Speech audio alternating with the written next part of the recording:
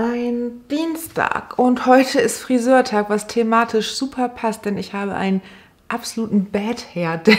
Das ist, das ist alles ein einziges Gestrüpp hier. Ich weiß nicht, wie das heute passieren konnte. Deswegen umso besser, dass Hauke ran kann. Ich war ja jetzt vor ziemlich genau zwei Monaten bei Hauke und ja auch das erste Mal bei diesem Friseur und mit dem von länger zu kurz und war ja super zufrieden. Wow, ich falle. Ähm, und ich möchte versuchen, ihn zu überreden, ob wir dieses Mal noch ein bisschen kürzer werden können. Also wir sind ja letztes Mal, glaube ich, auch nur so bis hier gegangen. Also ich würde ihn gerne überreden, dass es hier gerade noch so hinters Ohr geht. Also wirklich bis hier ab. Und dann schräg hoch, sodass hier hinten das kürzeste bis hier ist. Das wäre so mein Wunsch. Wunsch. Mal gucken, wie er das findet und ob das dann auch aussieht. Das würde dann nämlich zeitlich ganz gut aufgehen, falls ich dieses Jahr tatsächlich zur Buchmesse fahre. Könnte ich dann vor der Buchmesse nochmal nachschneiden lassen und dann vor der Wildnis und dann vor dem Urlaub und dann vor Weihnachten. Das würde genau richtig äh, passen in, insgesamt. Ich bin mal gespannt. Ich werde schauen, äh, was Hauke mir durchgehen lässt oder mir rät. Und dann sehen wir uns danach wieder zack, da bin ich wieder und Hauke ist einfach der Beste. Also jetzt ist natürlich alles sehr glatt, weil ich ja ähm, gewöhnlich unter der Dusche da mit Curly Girl und was weiß ich alles rummache. Aber er hat das wieder so toll hingekriegt. Also es folgt einfach dem Haar, es, es flufft sich da so hin, total super. Und von der Länge haben wir jetzt tatsächlich hier vorne, also gerade, also schön schräg hier runter, dann gerade so, dass ich es gerade noch in das Ohr kriege. Und dann aber auch theoretisch äh, selbst wenn es dann länger schon rausgewachsen ist, also hat man immer noch sein Ohrding, aber hier hinten ist es noch nicht so arg lang. Dann hat er wieder total super gemacht. Wir hatten allerdings so ein bisschen unterschätzt, äh, weil mein Haar ist ja so wahnsinnig dick. Also ich habe ja einfach so unheimlich viel Haar. Das ist ja, ich weiß auch nicht, das habe ich von meinem Vater. Und er meinte so, okay, nachschneiden ist eine Sache, aber wenn du jetzt auch noch praktisch einen anderen Haarschnitt willst, dann hättest du ein bisschen mehr Zeit einkalkulieren müssen, weil man bucht halt immer so seine Timeslots. Und ich so, oh, und dann kam irgendwann schon der nach mir und ich dachte, oh nein, jetzt werde ich bestimmt gleich gelünscht. Aber tatsächlich haben wir es dann doch in Time irgendwie geschafft. Also Hauke ist einfach ein Meister, der säbelt dann da so rum und macht da so Dinge und man denkt sich, was? Und ja, zack, Frisur, Wahnsinn. Okay, ähm, also technisch gesehen hätte ich jetzt 32 Euro bezahlt dafür. Ich habe ihm aber 40 gegeben, weil ich es nur rechtens fand bei meiner Fairkalkulation. Und ich bin wirklich wahnsinnig glücklich. Also das ist wirklich, Hauke ist einfach der Hit in Tüten. Das kann man nicht anders sagen. Und jetzt ist auch der Arbeitstag nicht mehr so dröge, weil jetzt habe ich eine neue Frisur. Jetzt muss ich mir nur die ganzen Haare aus dem T-Shirt schütteln gehen. Okay, wie verdammt groß kann denn bitte eine Strickjacke sein? so krass. Also wenn die am Ende nicht passt, fresse ich einen Besen. Dann flippe ich aus. Hallo. la gikonyanga, ilele la gikonyanga.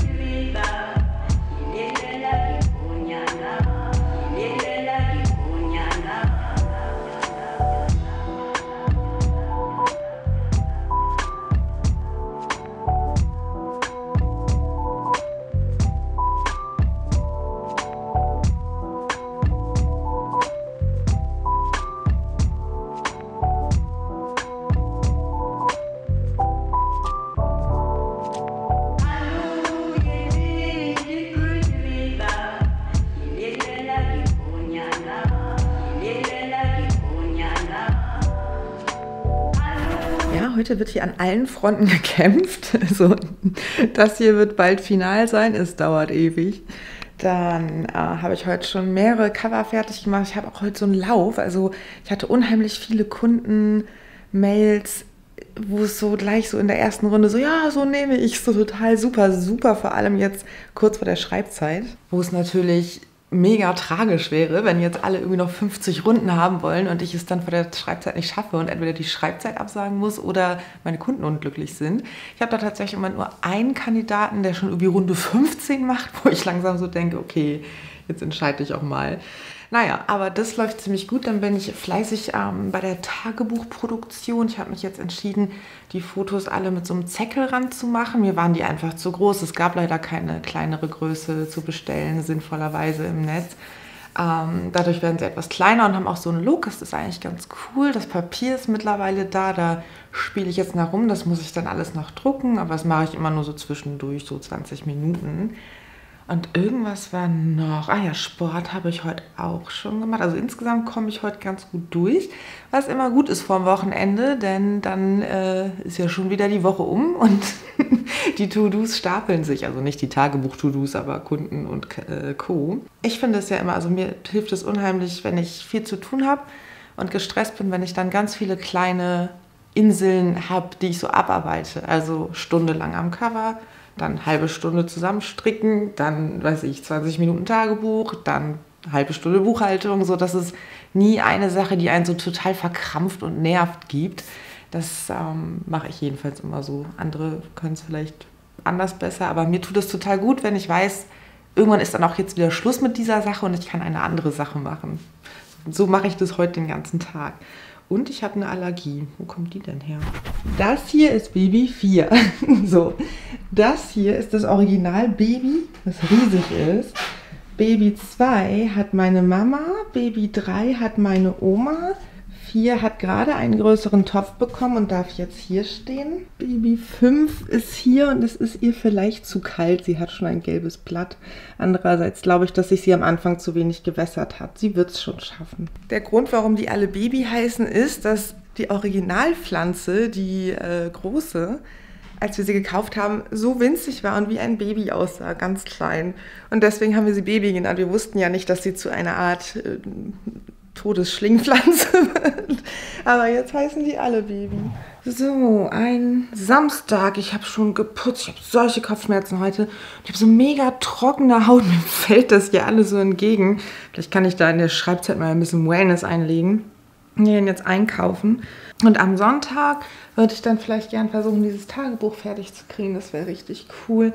Ich bin auch schon sehr weit mit meinen Rezepten und allem für die Schreibzeit. Und ich wollte mir noch rausgucken. Ich glaube, dass da in der Nähe von der Wohnung auch gleich Weiden sind. Und ich dachte, es wäre ganz cool, wenn das so ein bisschen wie in der Wildnis ist, mm, dass ich dann so Weidespaziergänge machen kann. Das wollte ich mir auch noch rausfummeln. Uh, heute bin ich irgendwie knatschig. Ich hasse es, wenn man schon morgens Kopfschmerzen hat. Jetzt muss ich eine Tablette nehmen. Das finde ich eigentlich überhaupt nicht gut. Aber ich mache es mal. Diese Woche habe ich leider überhaupt nicht abgenommen. Ich habe zu viel genascht. Ich habe es auch schon gemerkt. Ich hatte irgendwie Naschbedarf. Es war ein bisschen stressig auf der Arbeit. Böse. Jetzt bleibt mir noch eine Woche bis zur Schreibzeit, um noch ein Kilo loszuwerden. Ich glaube nicht, dass das klappt. Aber immerhin, also ich habe mir mal in meinem Fitbit, ich habe das alles nachgetragen, die ganzen äh, Gewichtsstände der letzten Jahre. Das hatte ich sonst in einer anderen App. Und wenn man die Kurven immer so anguckt, dann bin ich sonst jetzt schon so auf dem Weg Richtung 65 Kilo. Und dieses Jahr habe ich es tatsächlich geschafft, unter der 60 zu bleiben, das erste Mal. Und das war ja auch das Ziel, was ich mir Ende der Wildnis gesetzt hatte, dass ich ähm, die, die Weihnachtsphase diesmal überlebe. Wobei es bei mir gar nicht so zwingend am Essen am Weihnachten liegt, sondern eher meistens daran, dass ich aus irgendwelchen Gründen mit dem Sport aufhören muss. Ein Jahr war es ja irgendwie eine Knochen, Knochenhautentzündung oder wie heißt es? Am Schienbein war das. Mm, letztes Jahr war es eine Infektion und also irgendwas ist dann auf einmal immer und dann pff, kombiniert mit zwölf Stunden am Tag sitzen und normal essen ist dann sofort fünf Kilo drauf. Dieses Jahr scheine ich es zu schaffen. So, heute ist Freizeittag. Ich habe mir gerade schon die Nägel lackiert, habe ich ewig nicht farbig gemacht. Ich habe es überhaupt nicht hingekriegt. Ich habe überall übergemalt. Und hier bin ich jetzt schon krass in der Tagebuchproduktion. Und dann habe ich auch gerade mal angefangen, wieder Newsletter aufzusetzen. Das wurde auch mal Zeit. Aber als nächstes, wenn das dann alles ausgedruckt ist, will ich dann mal die Fotos einkleben. Und dann koche ich eine Pastinakensuppe. So, das ist jetzt final ausgedruckt. Mal gucken, wie das durch die Fotos dann noch aufgeblasen wird. Jetzt geht es aber erstmal an die Pastinake. Und dazu gibt es natürlich wieder die kleinen Brötchen.